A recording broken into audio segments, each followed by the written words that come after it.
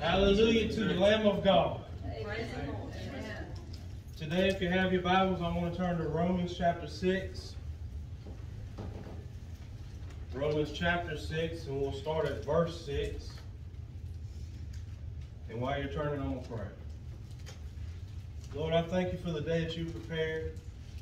I thank you for giving us the time to come to your house and to seek after you and to, to know who you are. Lord, I ask that you would send the anointing down in this place right now. And I humble myself before the throne room of God. Lord, I lay myself at your feet this morning, right there on the sea of glass. And Lord, I know that you're holy this morning. I know that you're worthy of all of our praise, of all of our sacrifice.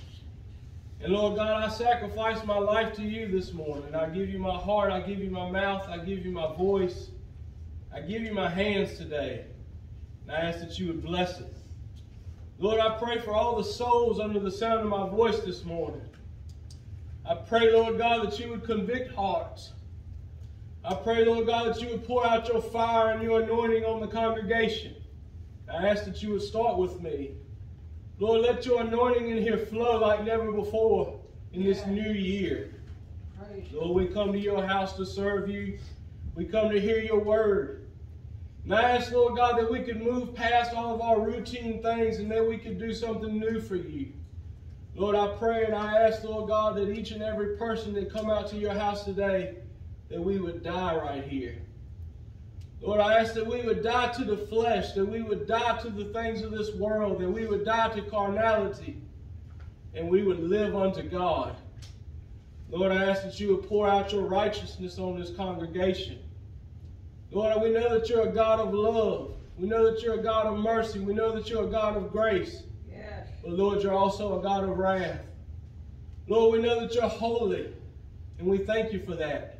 And I ask, Lord God, right now in the name of Jesus, that we would be a holy and a peculiar people, that we would be a royal priesthood. And I ask, Lord God, that you would use me today. Let this message be your message and not my own.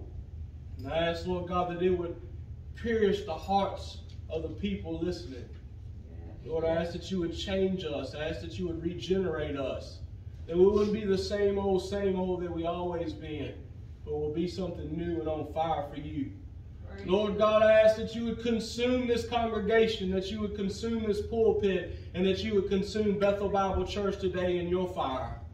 Lord, we know that the gates of hell and the fires of hell is not as hot and is not as strong as the fire that you can have burning inside of us. And I ask, Lord God, that our hearts will be ablaze for you right now. In the name of Jesus, I pray. Amen. Chapter 6, verse 6, amen if you have it. Amen. Knowing this, that our old man is crucified with him, that the body of sin might be destroyed, that henceforth we should not serve sin. For he that is dead is freed from sin. I want you to circle that in your Bible, verse 7, Romans 6 and 7. For he that is dead is freed from sin. Now, if we be dead with Christ, we believe that we also shall live with him, knowing that Christ being raised from the dead dieth no more. Death hath no more dominion over him. For in that he died, he died unto sin once. But in that he liveth, he liveth unto God. Likewise, Reckon ye also yourselves to be dead indeed unto sin, but alive unto God through Jesus Christ our Lord. Yes. Now this morning, as we read Romans chapter 6, this is the greatest chapter in the Bible on sin. Amen. And as my first sermon of the new year in 2022, I want to preach against sin. Amen. Amen. And there's so many times in our lives that we don't hear good preaching. We don't hear people standing up against sin. We don't see it in our homes. We don't see it as fathers. We don't see it as mothers. We don't have true priesthood in our homes anymore because mom and daddy's caught up with everything. Come on. Because the church is caught up in things. Because the preachers are caught up in things all across America. Yeah. And there's nobody to really stand up and preach against sin anymore. But I want to be that man today. I want to stand and I want to preach against all the things that we're doing that we're caught up in that we think are fun that we're having a good time doing but are really costing our soul and our salvation and going to cause us eternal hell. I want to raise a question to you this morning. I want to do it in humility. I don't want to come and I'm not going to batter you over what you've done or what you're doing or what you ain't doing. But I want to raise a question in your mind. How many of us in here, we live good lives? Come on. We go through cycles with the Word. We go through cycles in holiness. We go through cycles in righteousness. We'll live for a day or two holy and righteous unto God, and then we'll fall off. Come on. Or we'll live for a month and we'll really be on fire for God and we felt His power and we felt a connection with the Creator like we've never felt before. We'll feel something that's there. We'll feel God moving in our hearts and we'll feel God moving in our souls. And then before you know it, a lust will come in, a temptation will come in, a flirtation with the world will come in. And then before you know it, we're back in the same rut that we was in a year ago or two years ago or ten years ago. And we keep going back to the same old things, and it's a vicious cycle.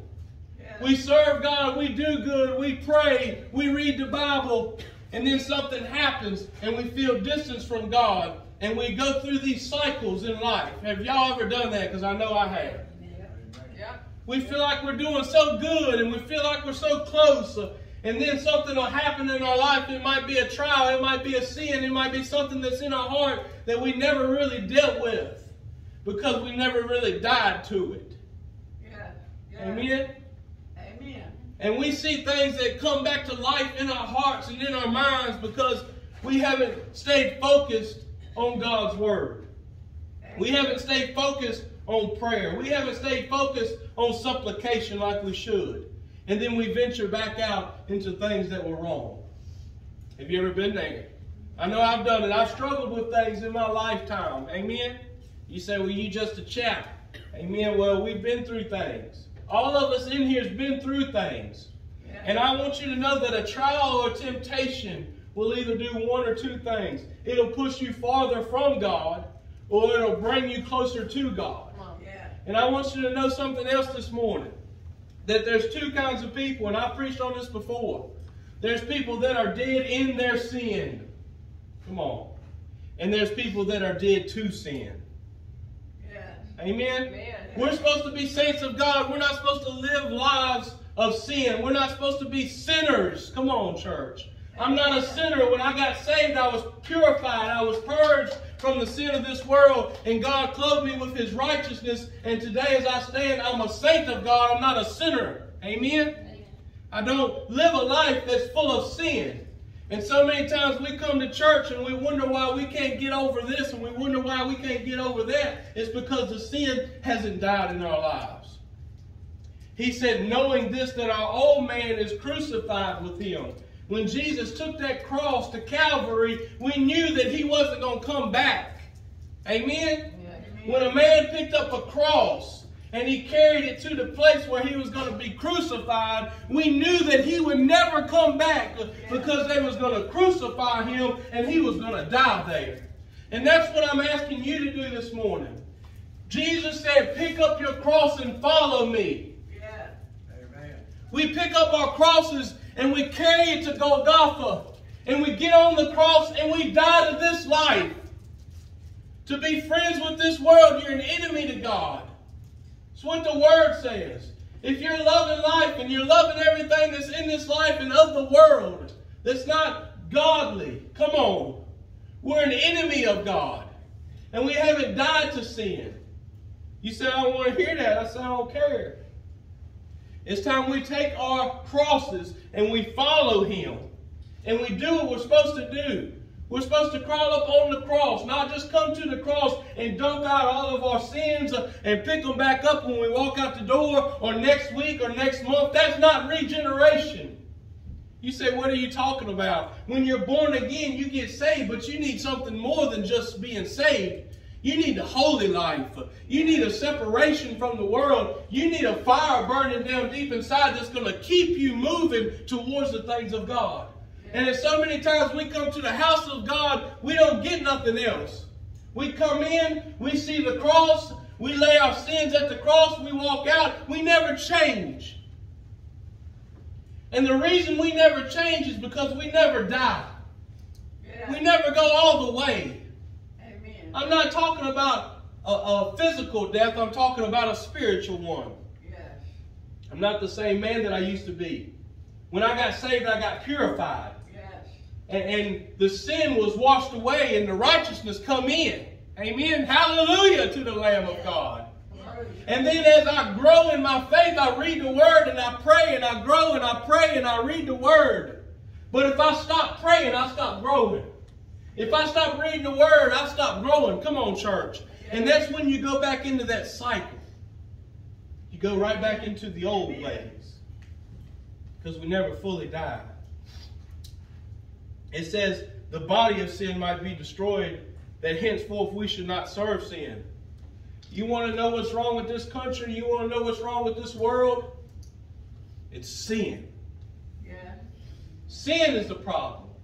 Sin is stealing our youth. Yeah. Come on. Yeah. Sin is keeping husbands away from their wives at night. That's right. That's Come on, it's not bad hearts or bad people, it's sin. It's sin. Sin is keeping people out of the churches. Amen. Sin is keeping people from praying. When you stop praying, you start sinning. I don't care what you say, and you know I'm true. You know what I'm saying is true. When you quit praying, you start sinning and you start doing things that you're not supposed to be doing. That's right. Amen? Amen. Sin is the cause of abortion in America. It's not dirty minds or dirty hearts or dirty people. It's sin that has infiltrated our hearts. It's sin that has infiltrated our homes and infiltrated our churches. And we come to church and we're burdened down with so many things. And we got so many things going on in our life, but it's fun. And we come to the house of God and we can't get anything from God because we're so burdened down with sin and we won't come and die. That's right. We don't come to die. You got to come to die. Amen? Amen. You can look at me like that all you want to, but I'm going to preach this message. Okay. Amen? Amen. Nobody in here ordained me. I want you to know that God ordained me. Yes, yes. God brought me out of what I was in. God brought me out of the drugs and the drinking. I run the roads just like some of you. Come on. But I'm dead to that life now. I don't want to do drugs. I don't want to drink alcohol. I don't want to act like I ain't got no sense. I want to live my life under God. Woo, yeah. Hallelujah. Glory. I want to die to this world. And that's what it takes. Amen. That's what it takes, y'all. Amen? Amen. It says, For he that is dead is free from sin. How many of you in here struggle with anxiety?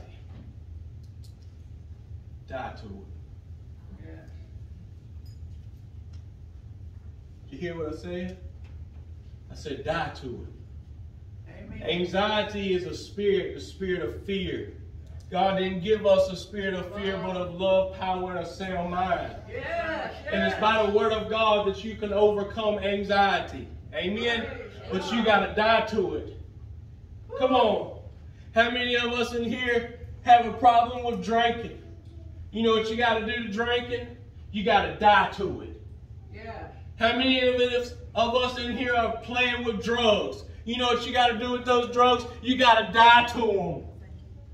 Amen. I said you got to die to them. Yeah. How many of us in here tell lies? It's time that you die to those lies. It's time that you die to those sins that are in your heart. It's time that you die to those things that are keeping you away from God. It's time that you die to those things uh, that are going to separate your soul for eternity. And you keep playing games with them. It's time that you die to those sexual sins. Come on. Thank you, Lord. Hey, I'm doing it this morning. I'm going to tell you how it is. All of these things will keep you out of heaven. Amen? Amen. Drinking, come on, fornication, drugs and alcohol, all these things of this world, it will keep you out of heaven. And if you want to get a hold on it, you have to die to it. Said you got to die. You say, well, how do I die to things that are in my life that I can't control? I want you to know that you can't control sin. You can't medicate it. Amen. You can't overcome it on your own. The only thing that will get rid of the sin in your life is the blood of Jesus. Amen. Yes. Amen. It's the blood of Jesus Christ that will change you. It's the blood of Jesus Christ that will come in and it will move you towards Him. And the Holy Spirit will come in and it'll divide into the marrow of the bone. And you'll feel a fire inside of your life uh, and you can be reborn. Praise God. Thank you. You must be born again, but you can't be born unless you died. Amen. I said you can't be born again unless you die to this world. Yeah. All those things that we do that we think's fun. Come on, y'all. Amen. We ride around. I've done all the things that y'all might be doing, might not be. I don't know. But I want you to know that I rode around listening to rap music. I had my fitted cap on backwards. I had on the Air Forces and the Timberlands. And you don't believe me, you can ask some people in here. I was doing drugs, I sold drugs, and I was not living the right life. My whole family was preachers, and I knew that I was called to preach, but I run from God. Yes. I run from God. I've been to church. I've been to so many church services. There's probably more than a lot of people in here combined. Church after church, message after message, people praying and people praying, and I still wouldn't come to God because I wasn't ready to die because I love the things of the world. The whole time I was an enemy of God. Amen? I want you to know that one night in a church service at revival, I went up and I told the Lord, I said, I'm tired of living this way. And when you get tired of living that way, after you've been through struggles and trials and temptations, and you go to jail and you get out of jail and you have one friend and then this friend leaves you, come on. And the money runs out and the fun runs out and the sin runs out. Come on, and you're still feeling empty inside, and you're still lonely because there's no no feeling to fill that void anymore. It's, it's party after party, and that doesn't do it for you anymore. You know what it's time to do? It's time to die. It's time to come to the house of God and give your heart to Jesus and let His blood cleanse you. Let His blood wash you and live a life that's different. Yes. Amen. Amen. You know, God is a holy God. You know, right now, they're singing holy, holy, holy, Lord God Almighty, all around the throne room of God right now. Right now, as you sit in church, Yeah. There's a throne way out there somewhere at the highest point, And God the Father's sitting there and they're singing to Him right now. They're praising His holy Yeah, name. that's right. Amen. And you know, we always say that God's a God of love, but they're not singing love, love, love. They're not singing mercy, mercy, mercy. Yes, His mercy endureth forever, but they're not singing grace, grace, grace. They're singing holy. Holy. And we don't have any holiness people stand up anymore. Are you saying you preaching a denomination? No, I'm preaching a way of life. I don't care if you're Baptist, you better be holy. I don't care if you're Methodist, you better be holy.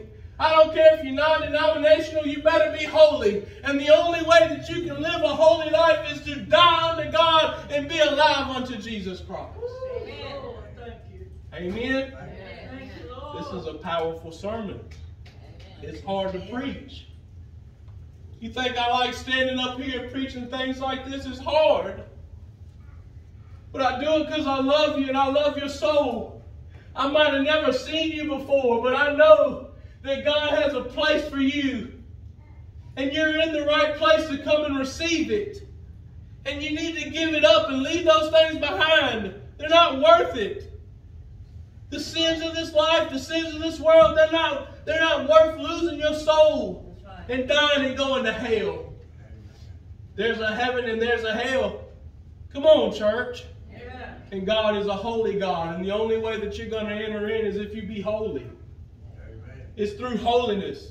Without holiness, no man shall see God, is what the word says. Now, if we be dead with Christ, we believe that he shall also live with him. Knowing that Christ, being raised from the dead, dieth no more, death hath no more dominion over him. When I lay my head down tonight, I'm not scared if I die in my sleep because I know where I'm going. I said I know where I'm going. There ain't a question, am I going? How many of you in here today can you honestly say, if I died right now, I know exactly where I'm going, and there's no doubt in my mind that I'm going to walk with Jesus on the streets of gold? Glory to God. Thank you. Some of us in here, we couldn't say that. We couldn't stand up and say, I know that I know that I know that I'm right with God, and if I took my last breath right now, that I would walk with Him. Yeah. You know why? Because it's sin in your life. Yeah. It's sin there. If you question your salvation, you have no salvation. If you're questioning if you go to heaven or not, you're not going. Come on, church. Because you haven't died. And you haven't been born again. I've had people that come to church, come to me and say, hey, I don't even know if I'm saved. Amen? In different churches, different places. Lots of people I've prayed with have said the same thing. Might have went to church for years. Well, I want you to know if something as big as the devil moves out and something as big as God moves in, you're going to know it. Amen. You're going to know when you get saved. You're going to know that power that's inside. I want you to know that I stand here on the authority of Jesus Christ and His power. Not on my own accord. Amen? Amen. He's got power. You think that those things out in the world are, are good and they feel good and you have a good time. It's nothing to what God can give you. It's nothing that the life that God can give you. It's nothing over top of what God can pour out on you. When I lived here in Appomattox, I had nothing. The only things I had is what my daddy give me. Which he shouldn't even give me because I didn't deserve it. I was nothing and I was a nobody and I was a drug addict and I didn't act right. I smoked a lot of dope. I did powder. I smoked crack. I stole things. Come on, church. I'm pouring out my heart before you this morning. I've done things that were wrong. I'd see my daddy and I'd give him the finger and I walked the other way. I'd see my nanny and my papa on the street, and they would see me. And they would pull down the side road to try to catch me, but I'd run and hide because I didn't want to be around that. Because the drugs and the sin had overtaken me, and it was controlling my whole life. I said it was controlling my whole life. I thought I was thugged out and swag. I was nothing and a nobody, and I was going straight to hell. And I want you to know something. As I stand here today, I ain't that man. Thank you, Lord. I ain't hooked on drugs no more. I ain't drinking liquor no more. No. I ain't running the roads no more. I ain't sinning no more. I ain't doing those things that I used to do no more. Because I'm living my life under God. And the life that I live now is no comparison to the life that I lived then. God. God has given me things that I don't deserve. I got a good job, a young, beautiful wife, Amen. a child. Come on. Amen. I got a family that loves me and a church family that loves me. I got people that's praying for me. But you know what? I got a power that's deep inside. I got a fire that's risen up inside of me that will not be put out. Come on, church. I got a holiness that's all around me that I could have never had out in the world. And it changed my life. It changed my life. Death has no more dominion over me. I know that I'm saved. I know it. I know it without a, a twinkling of an eye, without a bat of an eye. I know exactly where I'm going to go right now if I was to drop dead behind this pulpit. God. Amen. Thank you, I'm going straight to be with Jesus. If you drop dead right now, right where you're sitting, if Jesus Christ come back for us right now, where would you be? What about New Year's night? Let's get down to it now. Bless the Lord. New Year's Eve at 12 o'clock on New Year's Eve, what was you doing? Where was you at? What was in your hand? Yeah, yeah. All across this country, they was drinking and they was partying and they was doing drugs Yeah. and they was dancing down at the belly rub. Come on. That's what Nanny calls them anyway. Uh, the belly rub. What if Jesus would have come back at 12 o'clock midnight on New Year's Eve? What if he'd have showed up in the clouds at nighttime, 12 o'clock, like a thief in the night? What if he'd have done it? How many church people would have went to heaven that night? How many people had to wake up on New Year's Day and say, Lord, forgive me for what I done last night? Come on, church. That's not being dead under sin and alive under God. That's living for yourself. That's right. Sin is selfish. When I was living a life full of sin, I was a selfish man. Didn't care about you. Didn't care about your mama. Didn't care about your daddy. Didn't care about my own. Why would I care about you? Come on. Because sin had twisted my heart. Sin had twisted my mind. Yeah. And I believed a lie that I didn't even know that I was believing. Amen? Amen? It says, For in that he died, he died unto sin once, but in that he liveth, he liveth unto God.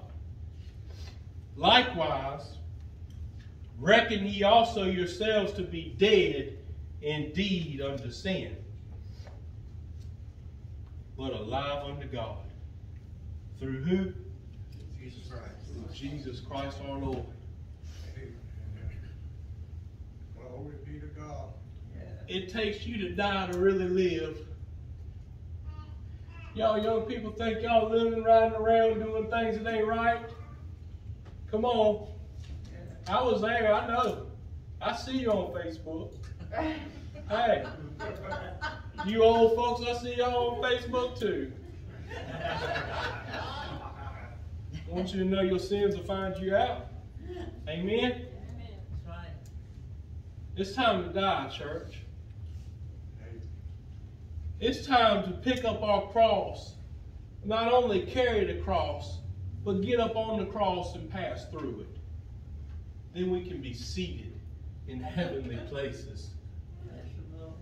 Joint heirs with Jesus Christ and alive unto God through Jesus Christ our Lord.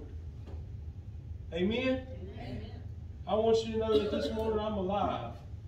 Yeah. I'm alive. Praise God. When I was serving the devil, I thought I was alive, but that won't nothing. Amen. That won't life. That's right. That won't no way to live. That won't no fun. It was pain and turmoil, loneliness, wrong living. But today, I'm justified. Yes. Today, I got a feeling in my soul that I never had before.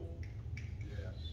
Today I want to be humble unto God. I don't want to keep going through the cycle of living right and then sinning and then living right and then sinning. I want to come and die right here. I want Romans 6 7 to be our scripture for today. He that is dead is free from sin. And if you're tired of sinning, if you're tired of the same old things that just keep coming back and you can't get rid of them and you can't never get over them, it's time that you die to them. Yes. It's time that you be born again. And it's time that you live your life unto God through Jesus Christ. Amen? Amen. Jesus has done things for me that no man can. He's opened doors for me that no man can. He's shut things behind me that no man can open. He's taken things out of my heart that I thought would never leave. He's helped me through times that it looked like I'd never get back up. Yes, yes. He's helped me through times that was hurtful. And it looked like I'd never get back up, DJ. It looked like I was down and out and I was just going to keep getting stepped on. But I want you to know that God always picks his people up. God will always come through and make you alive. God will always come through and put something in your heart that you need. Amen. He'll always bring you through. Amen. He'll never leave you and he'll never forsake you. It's you're the one that keeps forsaking God. He's prepared a day and an hour for us.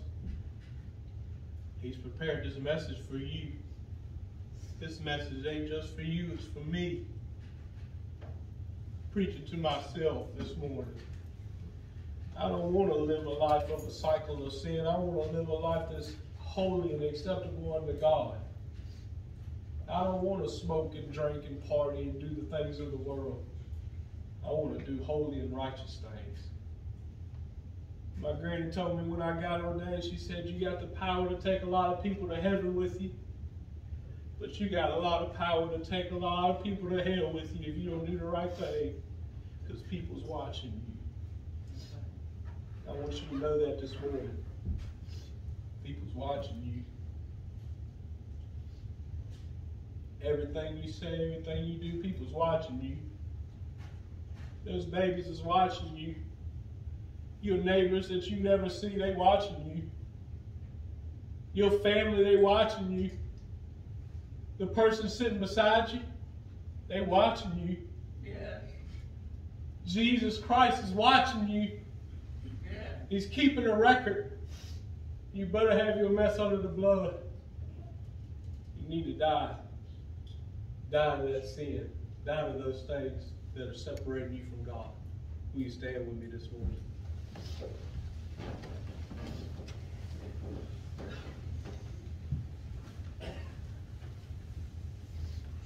I'm going to sing you a song of invitation. And as I sing this song, I want you to come to the front and die. Don't come to see me. Don't come to play games. Don't come for the same old cycle of life. But come with your cross and mean it this time. Leave out of here born again, regenerated. Every head bowed and everybody praying. I'm going to sing this song. And I'm going to give you an opportunity to come. If you don't come, it's your fault. It's not mine. I've done my part. If the Holy Ghost is moving you to come up here, you need to come. Just as I am without one plea, but that thy blood was shed for me, and that thou bidst me come to thee, O Lamb of God, I come, I come, just as I am and waiting not to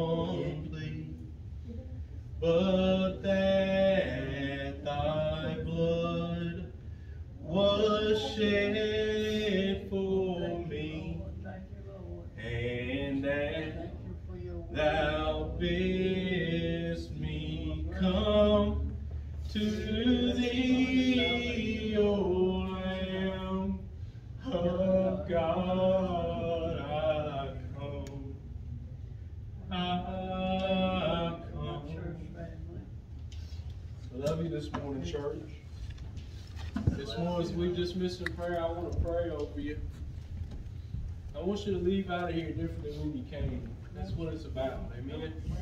Let's die to sin. Let's live under God. Let's be holy and righteous people. Lord, I pray for each and every soul under the sound of my voice one more time, Lord. Lord, you know exactly what's on the hearts of the people. You know exactly what's on their minds. Yeah. Lord, I ask that you would convict. I ask that you would set apart. I ask that you would consecrate. And I ask that you would make disciples in this place. Yeah.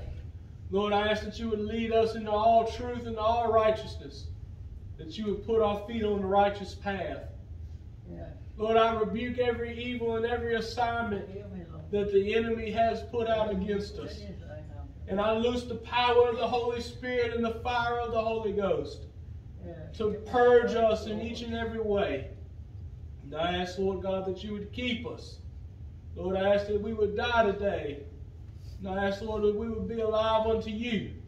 That we Yeah. wouldn't keep the same old cycle of sin, but we would move into a greater relationship with you in the victory. Lord, we thank you for it today. We honor you. In Jesus' name I pray. Amen. Amen.